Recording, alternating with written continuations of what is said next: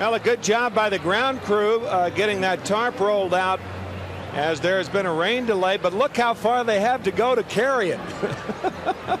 They're covering the outfield. now they've got a, I mean, a long way to go to get that tarp on the infield. I would think that there's got to be a better way to do this, Ralphie. They're going to have a lot of experience doing this. There's no doubt about it. When you're in Florida in the summertime, you get these rain showers. Well, they're, they're covering the outfield, though, now. it's the infield they want to keep dry. well, when uh, Joe Robbie Stadium was opened back on August 16th, 1987, they didn't need a tarp. For it was that night when the Chicago Bears beat the Miami Dolphins 10 to 3 73,000 for football in this stadium, 43,909 the capacity for baseball.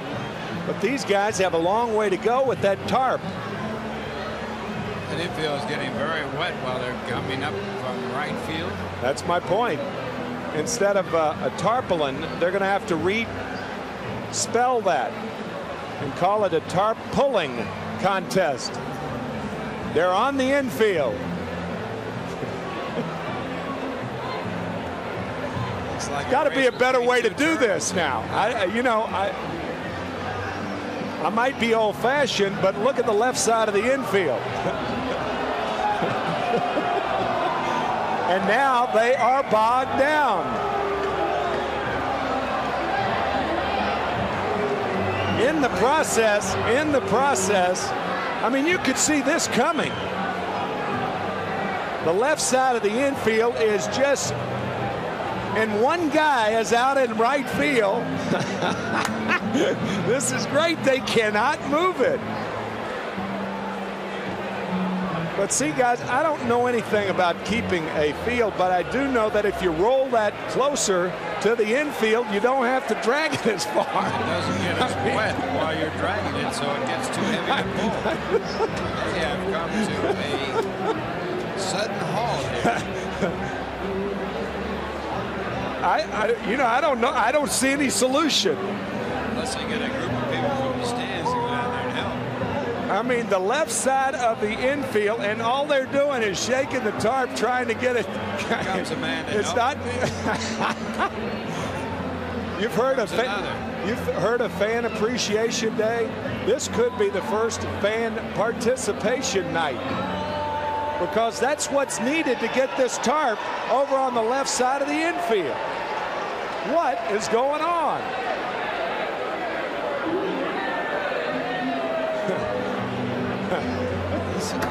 I'm, a screeching halt as that rain just pelts the shortstop area. It is underwater. You know who should be out there helping him? Jeromy Burnitz. If, I mean, if that's my first first major league home run, now they're going to try it again. Yeah, but what about the left side of the infield? Just making sure that both sides get covered. I mean, it's equal time. I'll guarantee you, shallow right is dry as a bone. The left side of the infield, I mean, it was drier on Noah's 33rd day.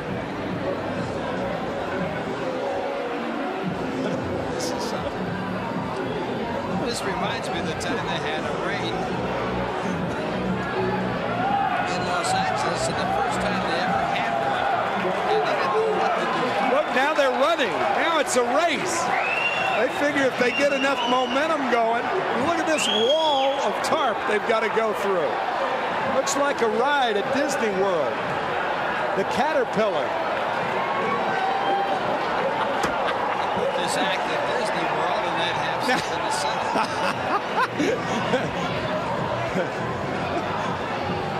So they battle through the Caterpillar, and here they come again. It's a momentum, fellas. The charge of the Wet Brigade. They got a little momentum right now.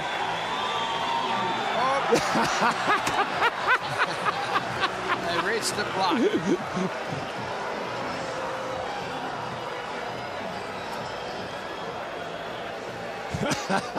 well, you got to laugh about this. I mean, this is the most fun the Mets have had all year. John Franco saying, oh man, comic relief. I wonder if they thought about possibly all of them going to the other end and maybe bringing that part over. I mean, that is a thought.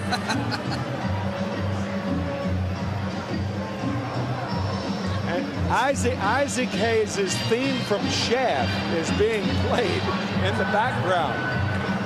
Or is that uh, Mission Impossible, I guess? Mission Impossible. Mission Impossible.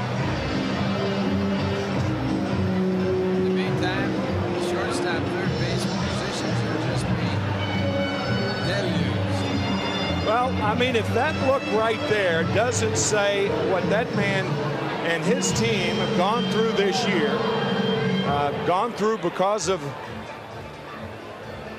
their own performance, granted, but gone through nonetheless. The only thing that would make this even worse if the Mets had about an eight-run lead and Yeah, yeah. Well, I mean, Jeromy Burnitz could lose his first major league home run, a memorable clout. I mean, he smoked it to right. it's not And like now, I mean- had rain before. It's not. It's not like Dodger Stadium that you mentioned before. Like uh, you know that there's a, an unusual chance for it to, for the clouds to open up. But I mean, the left side of the infield is absolutely inundated with water.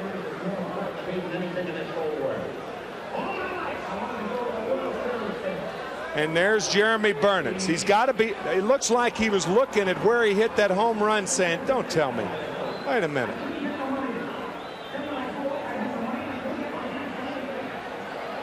They just can't get it to go. Well, this would be a perfect break for Coca-Cola Classic. This is a classic. This is a classic.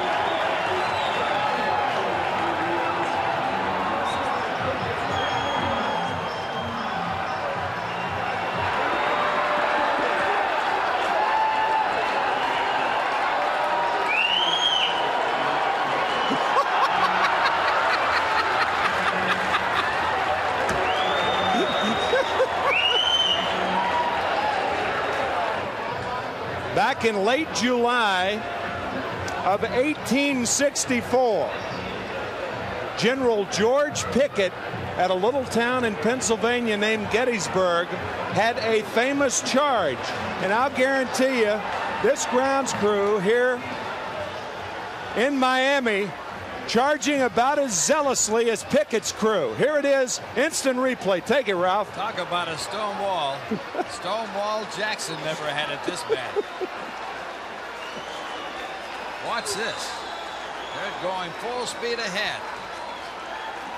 Urged on by the crowd, urged on by both teams, and they come to a screeching halt. Whoops. just like a volley had been fired into them. Even Rene Lachemann, the manager, is out to help them. And uh, that is the first time all year that we've seen that many people in a Mets dugout laugh. You got to laugh to keep from crying. That's right. They're taking the tarp now out toward left field. They're going to come in and come in from another side. I have an idea. You know, there has been a problem uh, worldwide, Brazil in particular, with the rainforest. I have an idea. Just send this ground crew to Brazil and those like, and our rainforest will be protected. I mean, there are several new species growing on the left side of the infield now. Trees have uh, have sprouted roots, potatoes, new animals, and everything. And also the other side of the coin is the rain is practically stopped. Of course. Here they go.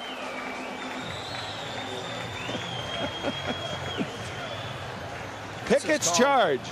They've given up the frontal attack and now they're coming in from the Flank. flank. Flank. You got it. This is a flank attack right here. The frontal didn't work. You saw the volley stop them.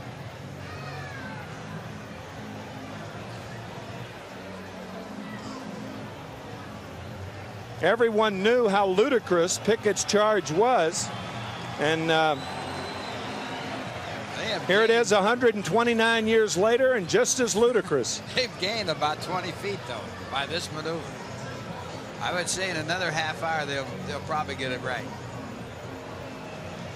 In the meantime, the rain has stopped. To almost, uh, almost stopped.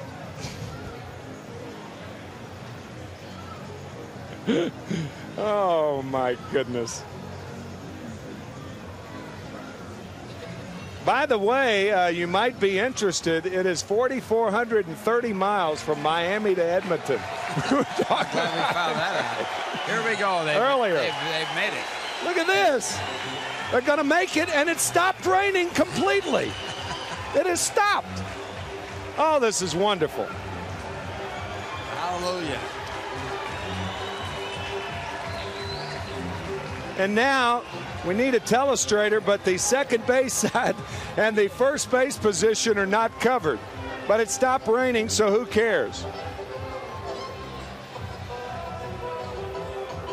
So I guess you could say about this ground crew that before it stops raining, they'll have it on.